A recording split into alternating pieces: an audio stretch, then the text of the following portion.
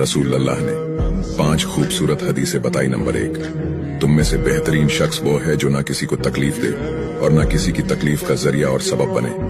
Number दो, जो शख्स दिन में दस मरतबा सूरतुल इखलास पढ़ेगा, यानी कुल अल्लाहू अहद, ये पूरी सूरत पढ़ेगा, अल्लाह ताला जन्नत में उसके लिए महल बना देंगे। नंबर तीन, जो शख्स हर फ़र्ज़ नमाज़ के बाद एक मरतबा अयतुल कुर्सी पढ़ने का मामूल बनाएगा तो उसके और जन्नत के दरमियान सिर्फ़ मौत का फासला होगा।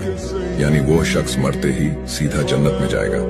नंबर पाँच, जो शख्स घर से निकलते वक्त ये दुआ पड़ेगा बिस्मिल्लाह तवक्कल तो अल्लाह हौला वाला कुव्वत बिल्लाह तो अल्लाह ताला शैतान के शर से उसकी हिफाजत फरमा देता है। और जिस काम को वो निकला, अल्लाह ताला उसमें आसानी पैदा फरमा देता है। नंबर पाँच, रसूल अल्लाह ने फरमाया, वो शख्स हरा भरा रहे, हंसता खेलता रहे जो शख्स मेरी हदीस सुने उसको महफूज रखे और उसको दूसरों तक पहुँचाए।